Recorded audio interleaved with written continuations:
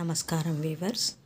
గుడిలో కాళ్ళు కడుక్కోగానే మూడుసార్లు నోటిని పుక్కిలించి బయటికి వదిలేదెందుకు? శుభ్రంగా కాళ్ళు కడుక్కొని ఆపై మూడుసార్లు పుక్కిలించేది వాక్కుకు కారణమైన నాలుక నోరు చెవులు పరిశుభ్రం చేసుకున్నామని ఇకపై పదుగురికి ఆమోదమైన పలుకులనే పలుకుతామని వింటామని భగవంతునికి తెలియచెప్పటానికే తెలియచెప్పటం. జై సాయిరామ్.